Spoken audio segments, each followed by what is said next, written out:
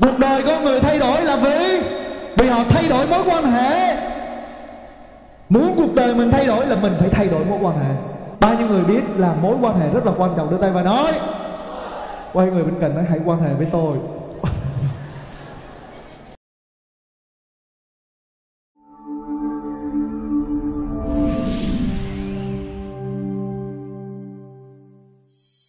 Khi mà chúng ta là một đóa hoa thì ờ, uh, ong bướm nó sẽ tụ vào. Còn nếu mà mình nhìn chỗ nào mà có ruồi với mũi là mình biết ở đó có cái gì. Hối xí nó thúi ruồi với mũi nó bu lại. Bao nhiêu người biết là ruồi mũi là nó thích bu lại cái chỗ đó đó. Hối xí ấy.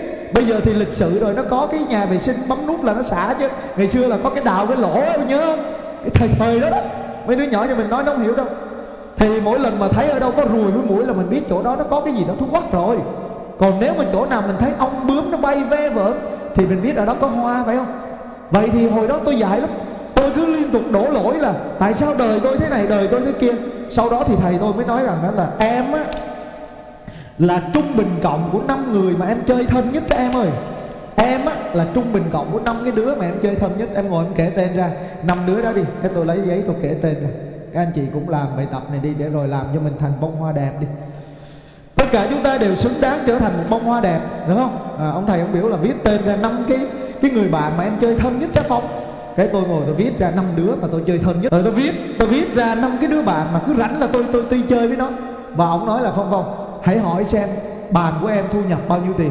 Cái là bắt đầu gọi điện hỏi từng đứa từng đứa từng đứa gọi gọi cái cộng năm đứa đó cái chia ra. Cái nó ra đâu 24 triệu 24 triệu rưỡi 24 triệu. Cái tôi lúc đó thu nhập 25 triệu có nghĩa là tôi trung bình thu nhập của tôi là bằng năm cái đứa mà chơi thân nhất cộng lại chia ra là tôi á. Hình dung không anh chị. Oh, lạ thay khi mà tôi áp dụng với rất nhiều người. Họ đều ra kết quả như vậy cả. Có nghĩa là mình là trung bình cộng của năm cái người mà mình chơi thân nhất. Mỗi lần rảnh cái là rủ nhau đi nhậu. Cứ rảnh cái là rủ đi nhậu rảnh rủ đi nhậu. Mà ra quán nhậu thì bắt đầu nói cái chuyện ờ, nhà người ta gây nhau rồi thằng kia nó mới ly dị vợ rồi con bé kia nó dữ dằn quá ha rồi thằng kia vợ nó mới có bầu rồi nó tầm bậy tầm bạ. Đi ngang đi dọc rồi bà kia mong lớn mong nhỏ ngồi nói linh tinh cho hết buổi nhậu rồi đi về. Ha? Nó quá sức là uổng phí thời gian đi mà nhiều năm không phát hiện ra. Ha? Và thế là mình sống giữa những cái người như vậy thì mình sẽ là người trung bình của họ thôi. Anh nhìn vô à? à vậy thế là cứ cộng hết năm người chia ra ra mình. À, và thế là thầy nói em có muốn cuộc đời em tốt hơn á? Muốn không? Ai muốn cuộc đời mình tốt hơn đưa tay cảm ơn các chị mình phải làm cho bản thân mình tốt hơn mình mới dạy con mình được chứ. Chứ mình không làm cho mình tốt hơn ừ, tư cách nào mà dạy con của mình. Thế là lúc đó thầy nói rằng dễ lắm em chỉ cần làm cho cái thằng màu đỏ này nè.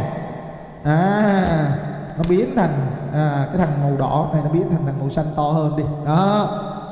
Được chưa? Muốn cái thằng màu xanh này to hơn á dễ lắm. Em chỉ cần biến mấy cái thằng đi tìm mấy thằng to hơn thằng này nè. Đó hiểu không? To hơn nè. Đó, đừng có chơi với mấy thằng kia nữa à, đừng có chơi. Tạm thời đừng có chơi với mấy thằng này nữa. Nghe nó rất là giả man ha. Bạn mình đang chơi thân.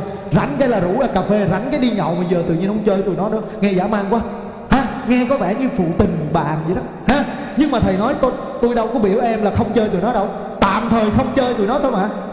Vì bây giờ mình muốn cuộc đời mình thay đổi thì mình phải có một cái hành động mới phải không?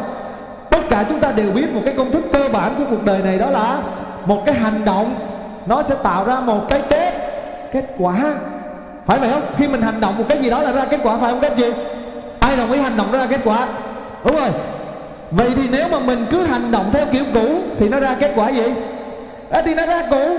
Nếu mà mình hành động một cái mới thì nó ra kết quả gì? Mới. Mà mình làm một cái hành động hết hồn. Mình có một cái hành động người ta hết hồn luôn. Thì nó ra một kết quả gì? Ừ hết hồn luôn. Giờ nó gọi mình tao đó. Cái đó đang ở nhà. Chiều này ghé uh, bà tư nha. Ờ tư bà tám gì đấy trời? Nghe nói bà tư cái à, à, à chiều này ta có tí việc. À, bữa khác nha. Nó vậy hả? Bận hả? Thôi. Cái hôm sau nó lại gọi đang đâu đó?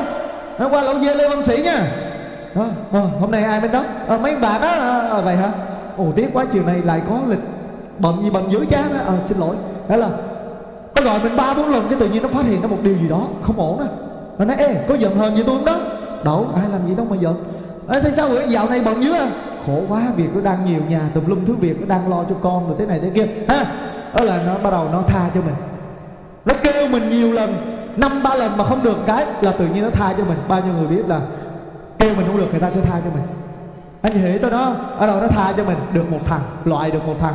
Tạm thời loại một thằng ra ngoài. Tôi còn nhớ cái thằng dưới mỹ xuân là thằng nặng nhất nó cứ rảnh cái là nó lên tới sài gòn này là nó cứ tới ngã tư lần xanh là nó gọi tôi đầu tiên. Tại tôi thằng nhiệt tình nhất trong đám bạn mà. Và tôi vui tính nữa, nên tôi đi tới đâu anh em cũng thích vui. À thế là nó cứ rủ tôi mãi à.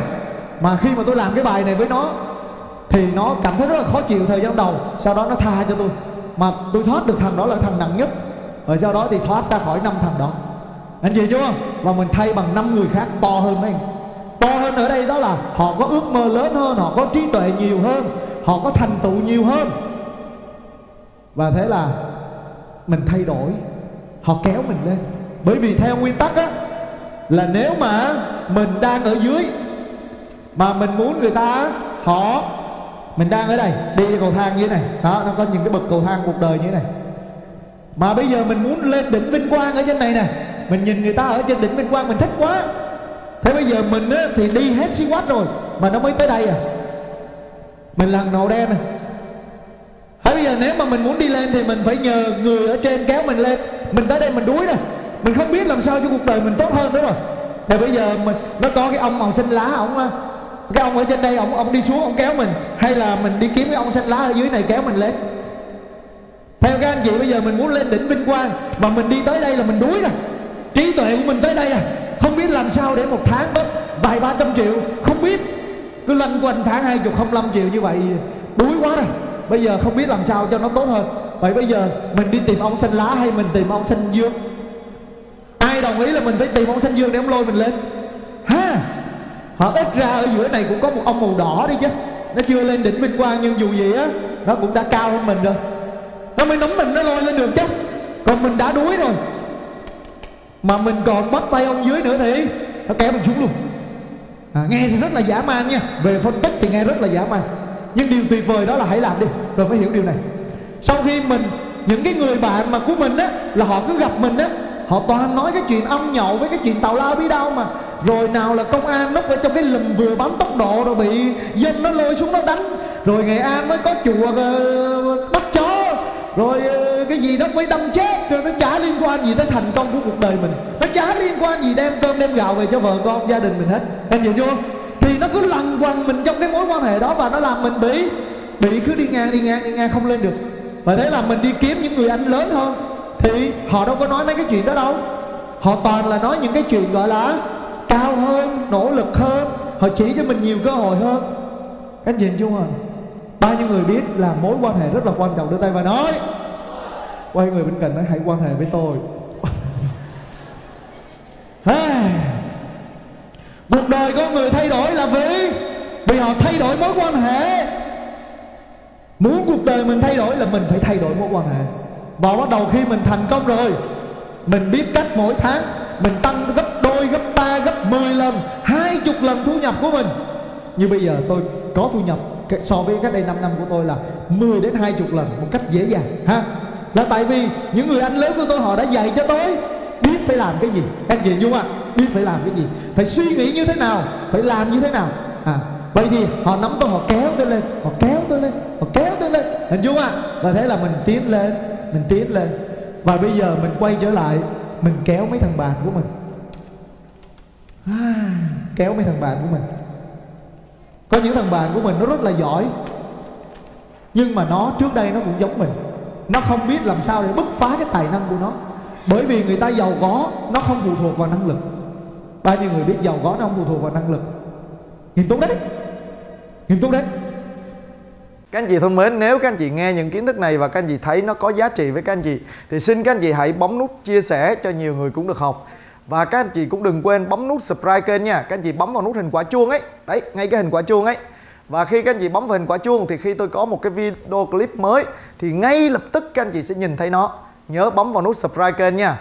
Và đừng quên chia sẻ cho nhiều người cũng được học. Cảm ơn các anh chị rất nhiều. Hẹn gặp lại các anh chị.